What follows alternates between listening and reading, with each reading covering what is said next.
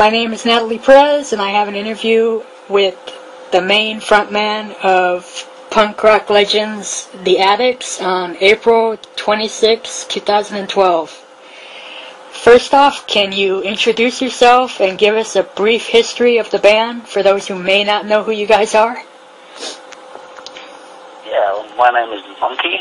Um, I'm the one with the strange makeup and the strange clothes.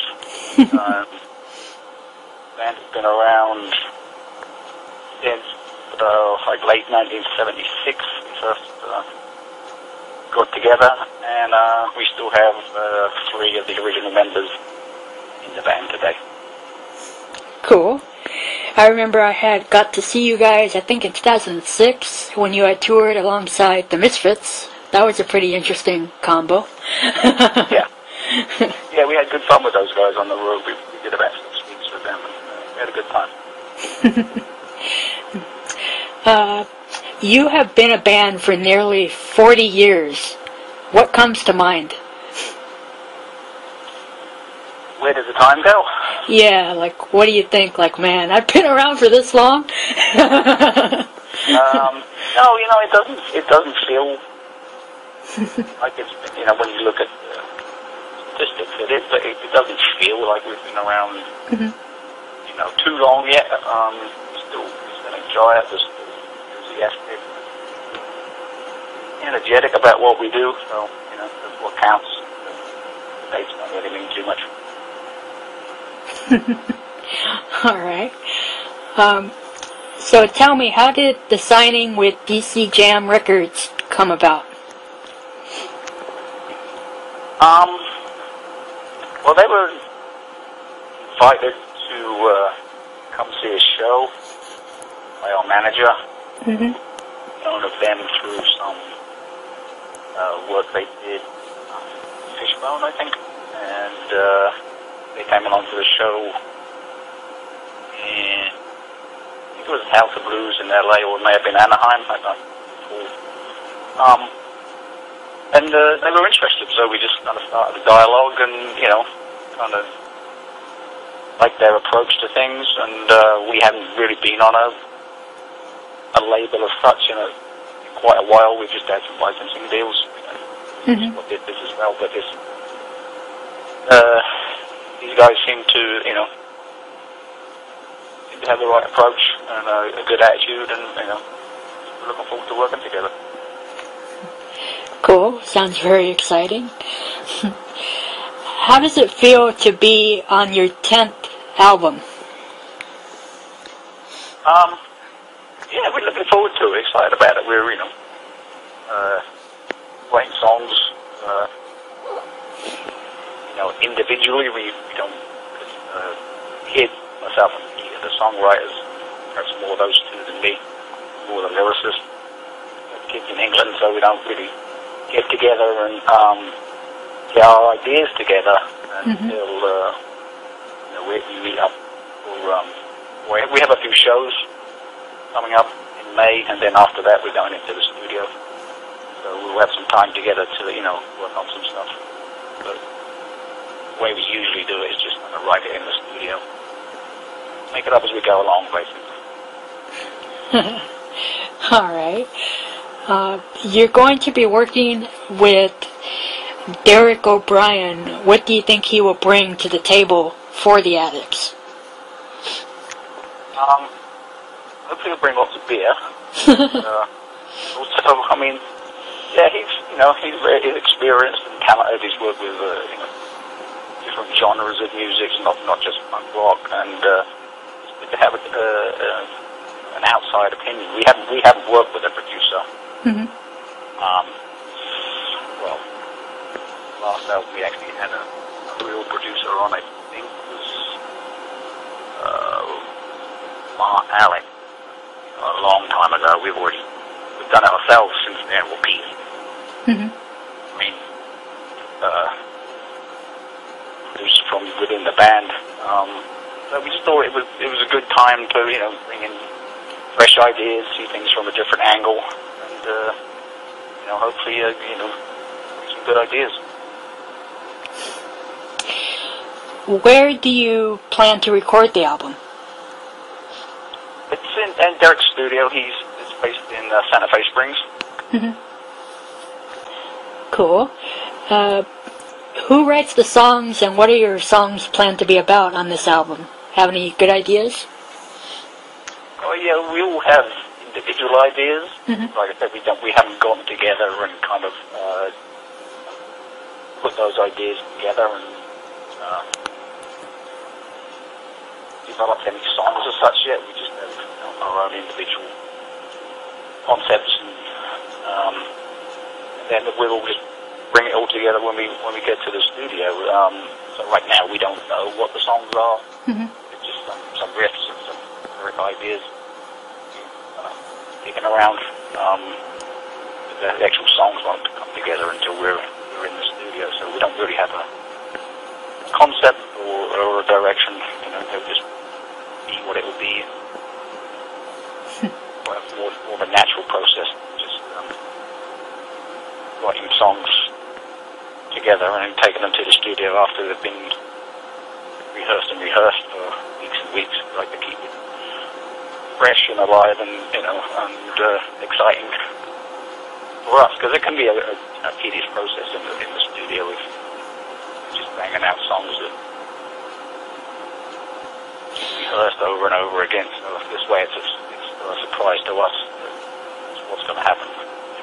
We don't know yet. Okay. Do you feel any pressure that might, you know, hang in there once you guys enter the studio, or you don't even care? You're just gonna go with the flow. No, no, there's, there's no pressure. All right. um, it's been three years since your last release. Life goes on. Why such a long gap between albums? Um, I don't know. We were just touring and uh, I just waiting for the right moment. Really, we don't. We're not a very prolific band. Mhm. And ten albums in 35 years is not a huge catalog of songs. So um, we don't like to make music for the sake of it. We wait all the time to be right. Oh, all right. what inspires you to do what you do? Well, these days it's uh, each other, each other uh, interested and uh, excited about, you know, new tours and new projects like a new album or something like that. And, um, and then it's uh, getting out there and, and playing really. Uh, um, meeting people and being able to, you know, give them a good time. About enjoying yourself really is the main uh, aim of it all. I think, yeah, if you don't if you're having fun, then why bother? Yeah, just living life and having fun. Yeah. Does the Adicts have any more goals that they want to achieve, or have they met them all? Um, no, there's still some. We, we still have ambition. We like other parts of the world. We'd like to explore. Um, we'd like to make some money. That would be nice. I don't know. Just keep going. We're very lucky to be still be able to do it, and we really, you know, we, we thank all the all the fans that come out and see us, and you know, our records and our T-shirts. Because we, without them, we wouldn't be, be able to do it. Uh, consider ourselves very lucky to be still in that position after all this time. Yeah, yeah. What about you personally? You mentioned at the start of the interview that you're, of course, the singer and you wear those crazy outfits. Do you personally make those outfits or do you buy them online? Because I think they're pretty cool. Uh, yeah, a lot of stuff comes online or from thrift stores. Mm-hmm. And um, but then I kind of redesign and add things and kind of make them my own, really. Cool. How many outfits would you say that are in your personal collection that you take with you out on the road when you tour and stuff? Um. Well, it, it kind of depends on the length of the tour. I like to have enough backups for go wrong or things get stolen, as it's happened before. So, um, I always make sure I've got uh, backup clothes and um, I, you know, I don't know what I'd do if I arrived at a show and uh, my suitcase with clothes and makeup missing. So I'm always uh, a little bit nervous about that when we fly or something like that. If, if worried about things arriving on time or bags getting lost. Mhm. Uh, the, you know, that's, that's a character I play, and it, it's packed away in a suitcase every night. I kind of, I like being able to, you know, adopt a persona. Be what else for a while, you know. Yeah, yeah. I'm not really like the guy on stage all the time. Imagine that. That would be a bit crazy. I bet it would be crazy. um, what more can we expect from you guys as far as this year, you know, goes? Um, well, we're doing a little run in May, which is largely uh, East Coast and Midwest. And then we're ending up with the Punk Rock Bowling Festival in Las Vegas. Mhm. Um, then we're in the studio right after that for uh, two or three weeks probably. Um, quite a couple of months in the summer.